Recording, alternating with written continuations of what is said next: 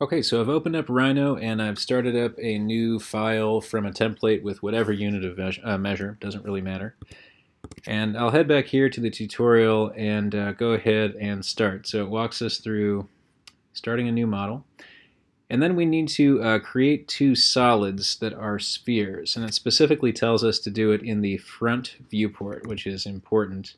And I want to do it like the tutorial does it so it's easier for you to follow along. Now over here, I can hold down my mouse and reveal different kinds of solids such as the sphere. And then I want to go to the front viewport just as they suggested.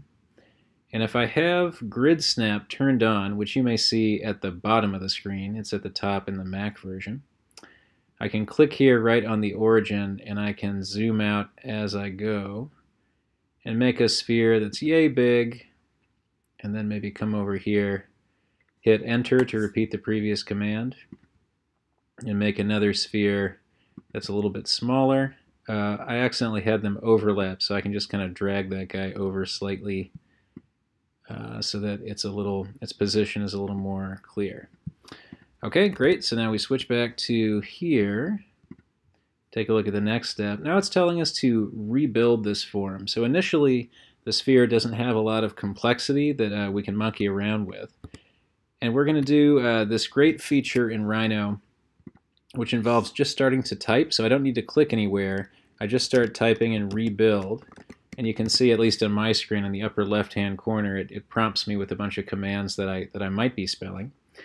And I'll hit rebuild, and then if you look back at the link, 8 and 8 and 3 and 3, is the um, are the numbers that we want to use. We're not really going to get into what these mean, but just think about them as the number of divisions that make up the sphere. So now if I hit rebuild, you can see that this sphere has more of these uh, radial, these radiating lines from the center when compared to this sphere. So I click that one, enter to repeat the previous command, and I want to rebuild that as well so that they both have those new uh, amount of features. Okay, so we'll head back to here. Looks about the same. Now we're going to turn on control points. So back in Rhino, uh, I can see that control points look like this right here. It looks like a curve that has some little points that are sort of hovering up off the line. And uh, it wants us to start with this one first. So I'll turn on control points. And now I get this grid of points that are floating up off the surface. It's, it's more apparent in perspective. You can see how it looks like there's kind of a net of points that are outside the surface of the sphere. And what these let me do is uh, imagine that each of those points is exerting a sort of invisible magnetic force. Mm. And so it's causing that sphere to, to pull outward from the center. So I can grab some of these points and I can just start to move them around. And you see when I do that, I will effectively squash that surface. And in some cases, if I do this enough, it'll start to turn in on itself, which can actually cause technical problems. So I'll hit undo, and we're actually going to do this in a really specific way that they recommend. So you look down here and you can see they have us dragging from left to right, and they want us to grab these lower nine points, uh, or maybe that's just six points.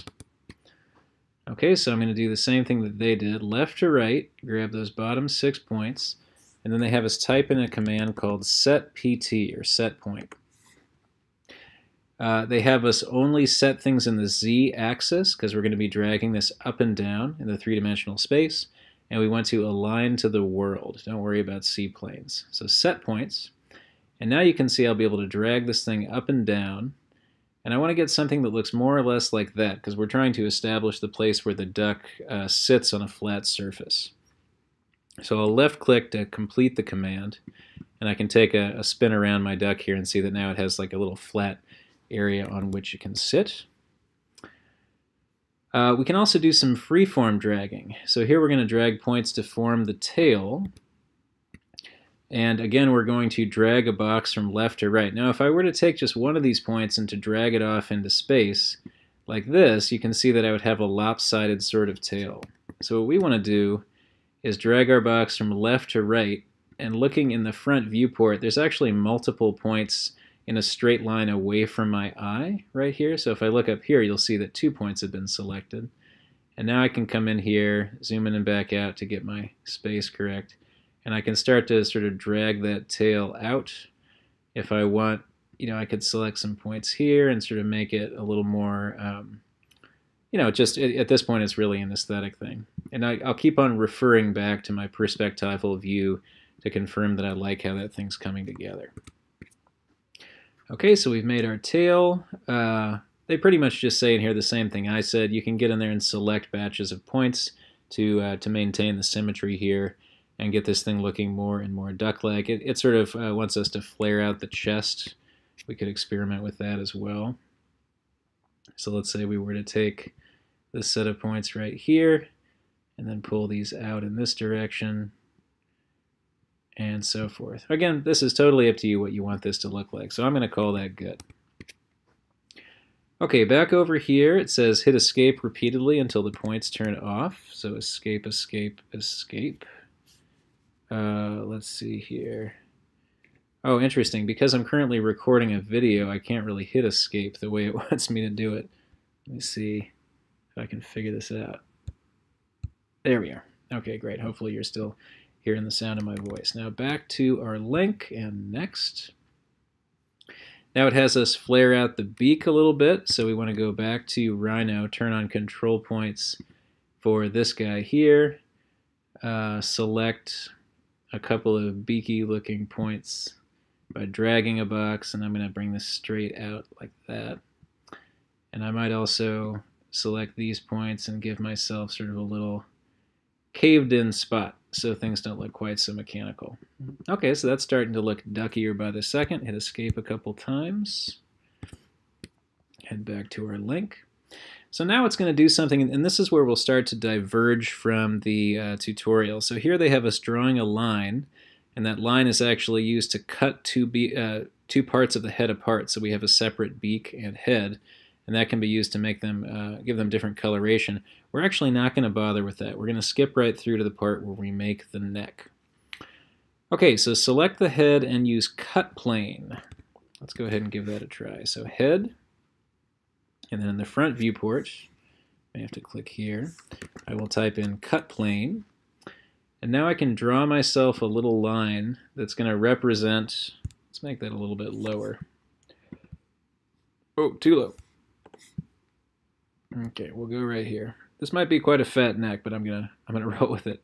Uh, so that gives myself a little plane that's perfectly scaled to the uh, the size of the object that we had selected because we're going to use this to sort of take a slice um, out of this object. I hit enter to complete the command. And then it tells us to go down there and to say trim. Okay, so the way that trim works is we want to deselect everything, type in trim and you'll start to see prompts with certain commands. So it says, what is the cutting object? In that case, it's the cutting plane. Hit enter. Then the object to trim, we want to pick the part of the object that we want to be deleted. So I'll click down here at the bottom, and that way I'll lose the bottom of the head.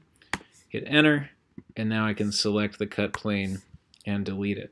Now you can see here that my neck is starting to travel off into space a little bit, so I might reposition this head a little more up over the body itself.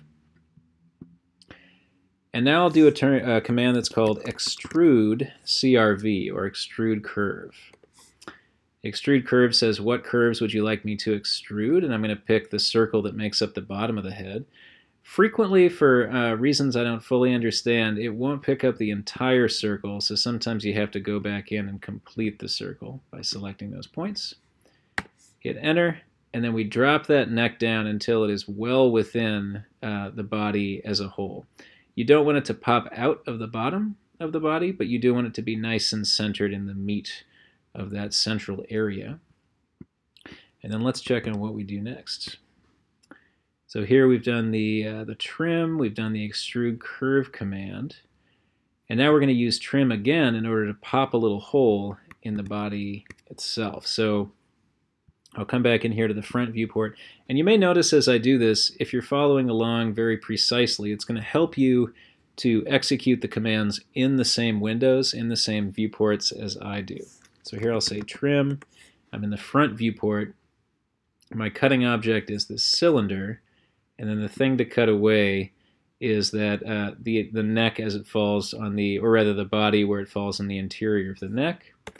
Enter to complete the command and then delete that cylinder, And now we should see I've got a nice little hole at the top and the bottom.